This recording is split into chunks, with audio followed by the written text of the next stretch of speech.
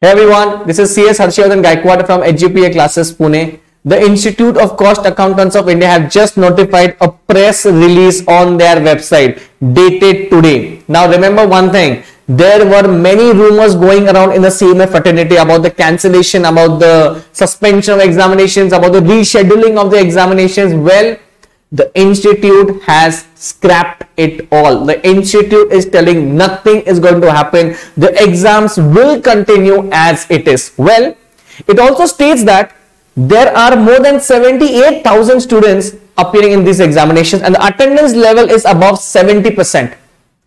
The candidates who have faced problems and challenges for example infrastructure technical issues like internet the network issue, the flood situation in Assam, and also the curfew in Rajasthan, all these things are addressed by the institute. So it is a claim by the institute that all the grievances are being solved, are being redressed in a very proper manner.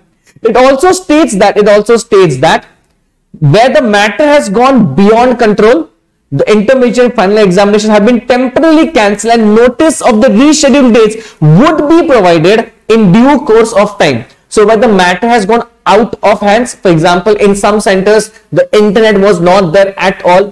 For these kind of centers, the rescheduled dates will come. As far now, nothing has been told. It may therefore be kindly noted that institute is taking the full care to solve all the issues in the best interest of the students. That is what the institute is claiming. Okay. It is also told again, please do not go on the rumors there are a lot of rumors telling because of that many students are not studying. So please do not do that. Please go to your exams. It is the institute's message. Please do not go into any rumors like cancellation, rescheduling. The institute will update you every day. Okay. So please, exams are happening on track. Please go to the examination center. Please study and please do not believe in any rumors which are going in and around that. Okay. Please stay tuned for the next official notification from the institute. Okay? Thank you